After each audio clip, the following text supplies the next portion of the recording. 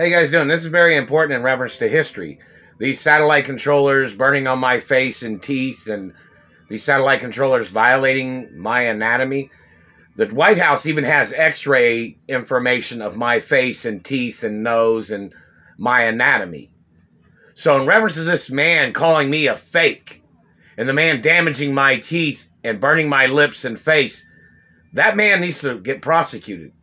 That's an American flag in front of the White House. Those are American flags in front of all the Capitol buildings in America. What race and what religion is this satellite man that's been doing this? They're violating American policies in America.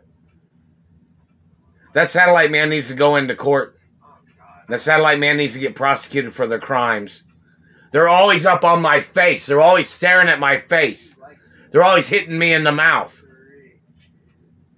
Take a picture to last longer, man. The White House has pictures of me. Why are you burning my face, you stupid ass? You better go into court. This is America, not your goddamn country to be burning people's faces and teeth. You better go back to your own fucking country.